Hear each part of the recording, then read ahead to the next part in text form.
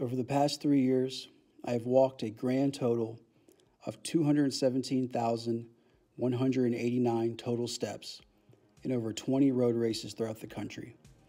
But on March 24th, I will face my toughest challenge yet the Los Angeles Marathon. It will take me between 36 to 42 hours to walk all 26.2 miles of the marathon. So, because of this, I will be starting my marathon journey on the night of March 22nd between 10 and 11 p.m., nearly 30 hours before all the other runners start. My name's Adam Gorlitsky, and I'm the founder of I Got Legs. Our ultimate goal is to support improvements to life changing technology for the disabled community.